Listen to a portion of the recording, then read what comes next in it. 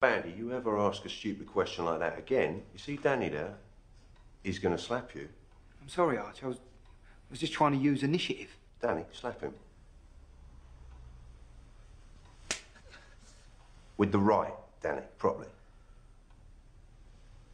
No, no, no, no. Come on, do it properly with the back of the right hand. What, is this a tennis match, Arch? Slap him. Ah, for fu- Like this. Now, if you can master a slap like that, there's no need for your clients to hold back. They will open up like a fountain full of words. No need for strong violence, no, no. They're transported back to their childhood. Putty in your hands. Ask Bandy. Look, thinks he's back at school.